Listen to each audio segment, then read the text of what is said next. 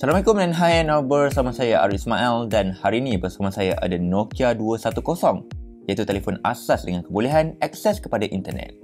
Seperti sudah menjadi tradisi, pihak HMD Global akan melancarkan sekurang-kurangnya satu telefon asas pada acara M Redusi sejak mereka kembali pada tahun 2017.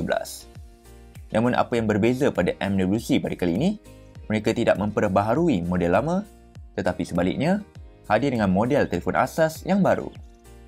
Nokia 210 membawakan rekaan kaniba klasik dengan menawarkan binaan polikarbonat pada keseluruhan peranti. Binaannya terasa sangat kukuh dan sangat mudah dipegang atas saiz peranti yang kecil dan kompak.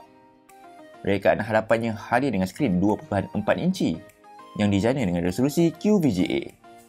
Di bawahnya terdapat butang kekunci T9 dengan akses pantas kepada internet apabila anda menekan lama butang kosong. Sistem yang digunakan ialah Series 30 Plus iaitu software platform yang sama digunakan pada Nokia 3310 2017. Apa yang menarik, ia turut dilengkapi dengan Opera Mini yang membolehkan anda melayari laman web moden dalam bentuk peranti asas. Ia turut dilengkapi dengan Store yang membolehkan anda memuat turun permainan dan aplikasi secara pantas. Pihak HMD Global turut menyertakan sejumlah permainan dalam peranti ini seperti permainan Snake dengan corak dan permainan yang moden dan Asphalt Seek yang menawarkan permainan perlumbaan kereta yang agresif.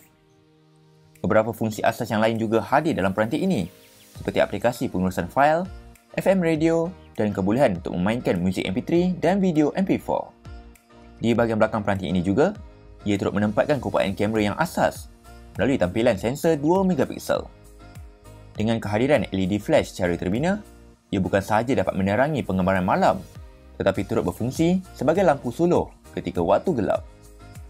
Untuk keupayaan baterinya, Nokia 210 ini mempunyai masa sedia peranti sehingga 20 hari yang mana ia boleh dicas melalui sambungan micro USB. Dari segi jualan, harga peranti ini telah diumumkan pada harga bermula 35 US dollar yang mana boleh didapati bermula bulan Mac ini.